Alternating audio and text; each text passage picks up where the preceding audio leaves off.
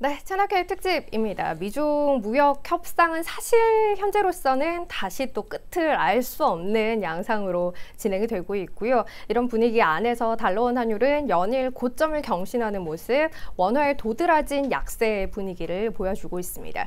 아, 뭐 이렇게 여러 가지 상황들이 녹록지 않은 가운데 국내외 주요 기관들은 일제히 성장률 전망을 하향하고 있는 상황이기도 하죠. 또 어제 나왔던 미국과 중국의 실물 지표도 썩 좋지 않은 상황이기도 했고요. 사실 내년이라고 특별히 달라질 게 있을까 싶기도 합니다. 물론 시장은 사실 개별 모멘텀을 보고 오르는 것들이 있긴 하죠. 신고가 내는 종목도 많고요. 다만 여건을 봤을 때는 쉽지 않다라는 게 대부분의 인식인데요. 어떻게 봐야 할지 주요 변수 통해서 함께 이야기 나눠보도록 하겠습니다. 오늘은 LG경제연구원의 배민근 연구위원 모시고 시간 함께합니다. 위원님 안녕하세요. 안녕하세요. 네, 안녕하세요. 자, 일단은 미중 이야기를 먼저 해야 될 것 같아요. 네. 이게 좀 마무리되나 싶더니 사실 또 트럼프의 트윗이 아주 활발해지기 시작했고 네. 맞물려서 끝을 알 수 없는 양상. 일단 양측이 관세 폭탄을 주고받는 듯한 이전의 어, 기억을 떠올리게끔 하는 모습을 보여주고 있습니다. 물론 어느 정도 유예 기간을 뒀어요. 양측 모두 다. 때문에 그 안에 좀 마무리되지 않을까? G20 회담에서 만날 거라는 이야기가 있기도 하고요. 기대도 갖고 있기는 한데요. 저, 어, 떻게 보고 계세요, 위원님? 뭐 그렇습니다. 이거 매일매일 장세가 네. 일희일비하죠. 음. 예. 근데 뭐 저는 그렇게 말씀드리고 싶어요. 일단 뭐 그때그때 뉴스에 따라서 장이 이제 많이 출렁이는데 음. 그러는 동안에 최근에 확인한 것은 뭐 그렇습니다.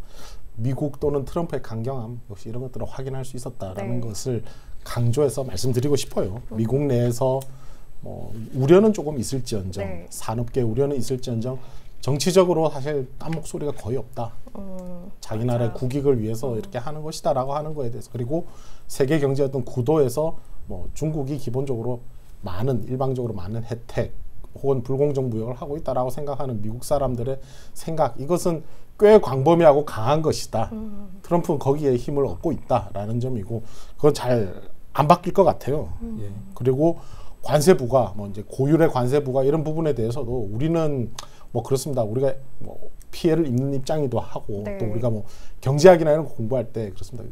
비효율적이니까 음. 피해야 할 것, 음. 더 나쁜 결과를 초래하니까 거기로까지 가면 안 되는 것이다라고 생각을 하는데 음. 트럼프 입장에서는 혹은 미 공화당 입장에서는 그렇게 해서 고율의 관세를 부과하는 것, 중국의 관세를 부과하는 것 자체도 하나의 성과가 업적으로 생각을 하는 측면도 있지 않겠느냐 그들은 네. 예.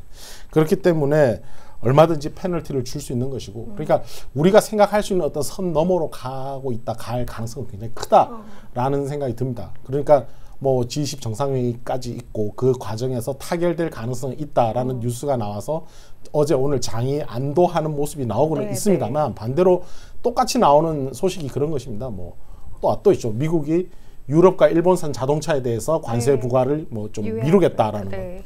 근데 다른 것도 있습니다. 적국, 적대 국가가 만들어내는 그 통신 장비 이런 것들을 쓰지 네, 못하게 하겠다. 예, 화웨이, 화웨이의 미국에서 사업을 사실상 원천적으로 차단한다. 네. 그러니까 어, 뭐, 그렇습니다. 이게 관세 분쟁이 타결이 되느냐, 되지 않느냐도 있지만 그 이후에 미국이 그리고자 하는 어떤 세계 경제 산업의 어떤 구도 모습은 우리가 지금 생각하는 뭐 한숨 돌리는 어떤 그런 것과는 음. 좀 다른 것이다. 그러니까 그것은 대체로 어, 우리한테 좀 한국 경제 위험 음. 요소로 좀 다가오는 것인가 계속 그런 스탠스를 견지하는 것이 음. 중요하다 강조를 드리고 싶습니다.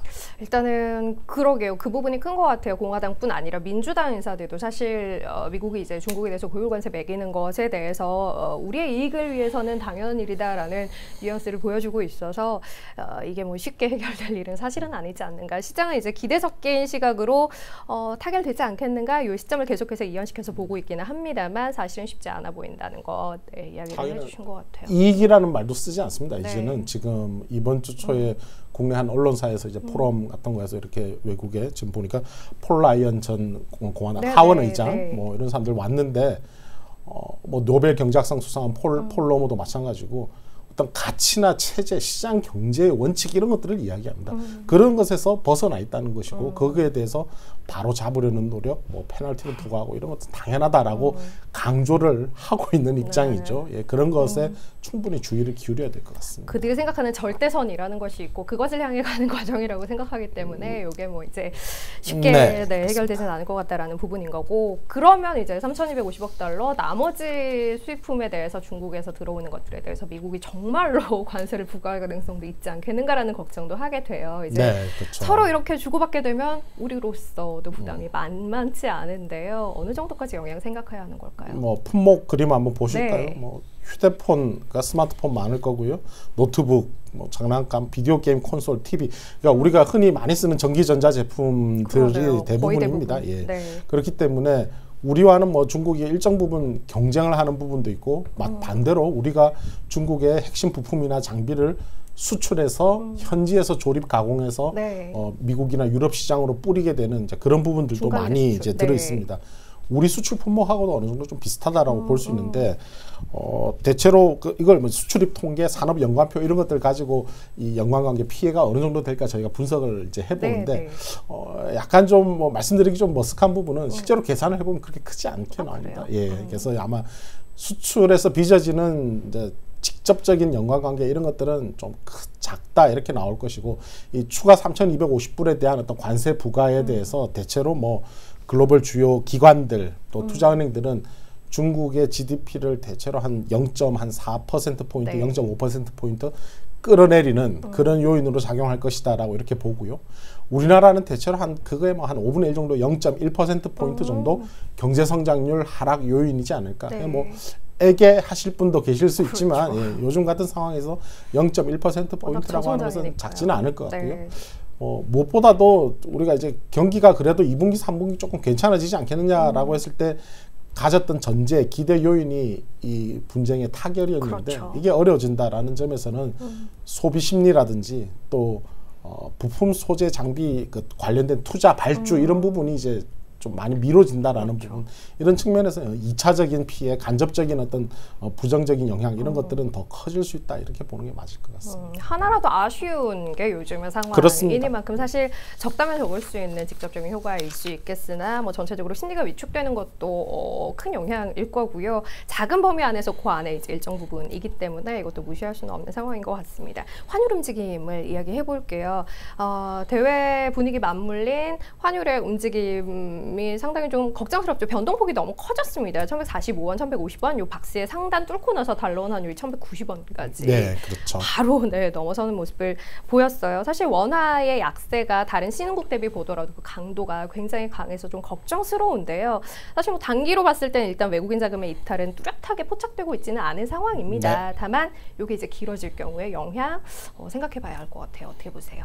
네, 이게 뭐 국가와 국가 간의 게임이기도 하고 네. 또 정책과 시장과의 이제 게임이기도 하니까 계속 그 작용과 반작용을 주고받는데 그렇다면 어떤 날은 좋은 날, 어떤 날은 안 좋은 날. 네. 근데 원하는 비교적 일관되게 약세로 좀 몰리고 있는 것 같습니다.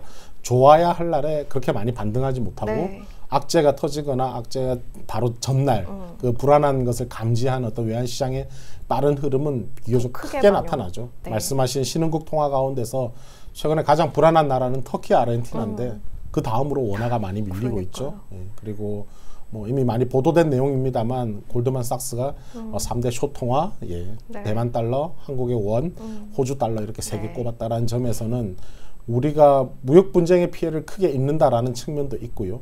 또 그에 따라서 우리 수출로 이제 성장도 많이 하고 또 경상수지 무역 수지 같은 부분이 좀 흑자 기조였는데 그것이 추세적으로 약화되는 것 같다라는 거 그리고 무엇보다도 뭐 계속 그 파장 우리가 1분기 마이너스 성장률 마이너스 0.3% 전분기 대비 성적표 받은 것의 그 파장 여파가 아직 가시지 않고 있다. 이 얘기는 어, 무역 분쟁의 어떤 그 추이 뭐 이런 것들의 영향도 받겠지만 근본적으로 한국 경제의 어떤 성장성 또 그에 따라서 원화가 가치는 매력도 같은 이런 부분에 있어서 좀 근본적인 재평가 이런 것들이 일어나고 있는 것 아닌가.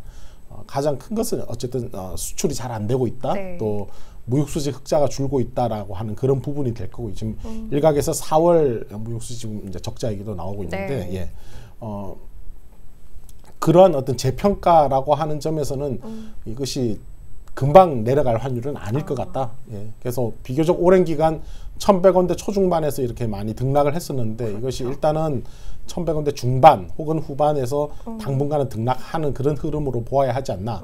그리고 나면 2분기, 3분기 GDP, 우리나라 GDP나 산업 생산 나오는 거, 수출 나오는 거 보면서 좀 괜찮아진다라고 하면 과거만큼은 아니지만 괜찮아지는 것을 보면서 좀 소폭이나마 이제 다시 원 달러 내려가는 그런 흐름일 것 같고. 다만 이제 뭐 그런 거 우리 생각합니다. 어, 원 달러 올라가니까 수출 좋은 것 아니냐라는 건데 그런 부분 효과도 과거보다 우리가 좀 많이 줄었다고 봐야 되지 않느냐. 글로벌 생산 기업들이 많이 하고 있고 이렇기 네, 때문에. 그리고 지금 우리 수출 품목이 뭐 포트폴리오가 엄청 당연 다변화가 많이 안 돼 있습니다. 오히려 어, 전기전자 제품, 반도체 중심으로 해서 더 집중되는 효과가 나타나고 있기 때문에 그것은 이미 시장을 좀 많이 석권하고 있는 부분이어서 싸다고 해서 더 많이 팔고 팔 수 있는 그런 부분도 아니거든요. 그래서 그런 수출 신장 효과 같은 부분은 과거보다 줄어들 것이고 그래서 이래저래 원화 약세에 좀 부정적인 측면 이런 것들이 더 부각되고 있는 상황인 것 같습니다. 음, 알겠습니다. 미중 무역 분쟁이 격화된 데 따른 영향도 있겠으나 우리 내부적으로 가지고 있는 경쟁력이라는 측면에서도 원화의 약세가 이를 여실하게 반영하고 있는 것 같다라는 이야기를 해주신 것 같고요. 일단 원화 가치가 좀 강세로 돌아 서려면 어 성장률이 돌아서는 걸 보여줘야 할 것 같다라는 이야기를 했는데 LG경제연구원에서는 지난 9월 시점에서 예측했던 올해 성장 전망이었던 2.5%를 지난 4월 21일자로 하향 조정했습니다. 0.2% 포인트 낮췄더라고요. 네. 2.3%. 이 조정의 근거는 뭐였을까요? 반도체 경기 둔화 이거는 네. 엇갈립니다. 그렇죠? 반도체 경기 별로 둔화 안 될 것이다라고 그렇죠. 보는 분들도 많고 반대로 둔화될 것이다라는 분들도 많은데 저희 연구원은 대체로 좀 둔화되지 않겠느냐라고 이렇게 보고 있고 뭐 그림 보시면은 뭐 네. 그렇습니다. 반도체 수요가 약해질 것이다. 클라우드 Big Four 설비 투자 뭐 CAPEX 증가율이 많이 떨어질 것이다. 이것은 뭐 이것이 뭐 명확한 그 전망치라기보다는 일단은 어 4대 클라우드 기업이라고 생각되는 아마존, MS, 구글, IBM의 어 IR 리포트에서 일단 추천 이거 투자 계획이죠. 네, 그러니까 보수적으로 잡히는 측면도 있습니다만은 음. 어쨌든 17년, 18년 계속해서 투자 굉장히 많이 일어났는데 그때만큼의 성장은 아닐 거다라는 거죠. 그렇죠. 그러니까 뭐 9%도 사실 네. 많이 늘어나는 것이지만 네. 전년도 그 전년도 대비로 보면은 많이 하락한다 이렇게 볼 수 있는 것이고 사실은 이런 클라우드 이거 일종의 중복 투자지 않습니까? 그렇죠. 예. 4차 산업혁명 관련된 그런 투자라든지 이런 부분들이 이제 많이 이제 중복해서 많이 이루어지는데 어떻게 보면 그들끼리 어떤 승부 이런 것들이 좀 도래하고 있는 것 아닌가라는 생각입니다. 국내에도 보시면은 대부분 다 O2O들이 이제 유니콘 기업들이죠. 네. 전자상거래를 더 많이 스마트화 하는데 성공한 그런 기업들인데 그들끼리의 어떤 또 경쟁이라는 측면이 조금 간과되고 있는 것 아닌가. 다가올 시간은 어떻게 보면은 어, 투자 자금의 어떤 그런 것들이 점점 좀 어, 말라갈 수도 있는 그런 상황에서 어, 옥석 가리기 이런 것들이 좀 일어날 수도 있는 네, 상황 네. 아닌가 조금 더 장기적입니다만은 예. 그런 점에서 본다면은 4차 산업혁명 관련된 붐 이런 것들은 좀 2017, 18년에 비해서는 약해진다 이렇게 보는 게 맞지 않느냐라는 네. 것이고 이것이 반도체 수출 물량에도 영향을 줄 것이다라는 이제 영향 생각을 하고 있습니다. 네. 재정은 좀 아쉽죠. 재정 2분기부터 푸시업이 될 수 있었으면 좋았는데 어, 2분기에는 지금 추경 안 되고 있기 때문에 그러니까요. 효과가 좀 보기 어려울 것 네. 같고 성장률 반등은 기술적으로는 2분기에 전분기 대비 플러스 뭐 거의 1% 가까이 이렇게 반등 음. 나오지만 어디 어디까지나 기술적인 반등인 것이고 의미 있는 경기 흐르면 결국 3분기, 4분기로 좀 미뤄지는 것이다. 네. 아까 말씀드린 원 달러 환율의 안정, 하락 안정 이런 것들도 그에 마- 맞춰서 갈 음. 것이고요. 어 근데 또 보면 이게 그 재, 뭐 재정 확대 이런 부분도 내용을 보면 과거에 비해서 계속 그렇습니다. 우리가 투자 이런 거 그런 게 그래도 승수효가 큰데 네, 네. 그런 것보다는 뭐 이전 지출 성격의 그런 것들이 맞아요. 많죠. 예, 네. 고용 보조금이라든지 음. 그런 것이 많아서 전반적으로 경기 경제 전반에 확산되는 효과도 과거보다 좀 줄어들고 음. 있다라는 점에서는 조금 아쉬움.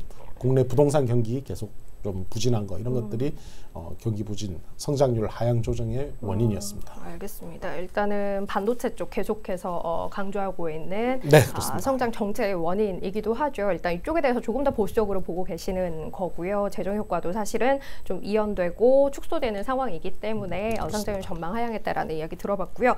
어, 재정 정책 이야기했습니다만 통화 정책 관련해서도 이슈가 있었어요. 얼마 전에 어, 한국은행의 금융통화위원 중에 한 명이죠. 조동, 조동 철 위원이 기자 간담회를 열고 어, 인플레를 걱정해야 할 시점인 것 같다라는 이야기를 하면서 읽히기에 따라서는 금리 인하를 해야 한다라고 주장하는 걸로 보일 법한 이야기를 했습니다. 아, 금리 인하 가능성이 있다고 보세요. 예, 뭐 주동철 의원께서는 이제 금통위원회에서 비둘기파로 네, 그렇죠. 분류가 되는 분이시니까요. 예. 뭐 간단히 도식화한다면 디플레 저물가, 음.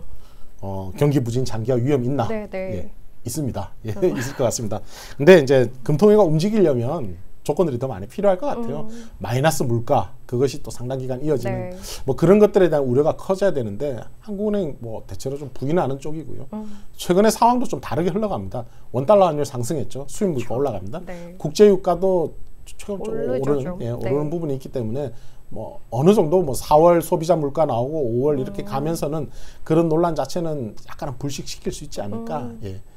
근본적으로 우리 경제에 좀 그런 구조가 되어, 네, 되어가고 네. 있는데 뭐 일본식 뭐 과거 대공황식 이렇게 비교를 하면 그렇게까지는 안 가니까 음, 금통이 대체로 신중하고 굉장히 느리게 움직이는 그렇죠. 특성이 있으니까 거기에 대해서 뭐 움직일 것이다 이렇게 보기는 어렵고 음. 그리고 최근에 많이 나오는 얘기는 저도 놀랄 정도인데 정말 한 목소리로 재정의 역할 더 아. 많아야 된다. 네. 뭐 대- 재정의 역할이라고 하는 것이 뭐 그렇게만 보면 아름다운 얘기지만 그 얘기는 재정 적자를 감수하고서라도 그렇죠. 더 많이 재정 지출을 늘려야 한다라는 얘기들이 음. 어, 뭐 굉장히 많이 나오고 있습니다. 예, 그렇기 때문에 그런 부분들이 어떻게 보면 하반기 뭐 우리가 뭐 이런 얘기까지 할 필요는 없죠. 내년도 총선 있고 이러니까 그렇죠. 예, 그런 거와 발맞춰서 재정이 어, 추가적으로 더 편성이 된다라든지 내년도 예산안 이런 부분에 있어서 어, 조금 더 전향적인 모습 나오죠. 그런 것들이 오히려 성장률에 대한 기대 요인으로 자리 잡을 수 있지 않을까라는 생각이고 통화 정책은 상대적으로 조금 가만히 보수적으로 머무르는 네, 쪽으로 네. 갈것 같습니다. 어, 알겠습니다. 금리 인하를 벌써 이야기하기에는 사실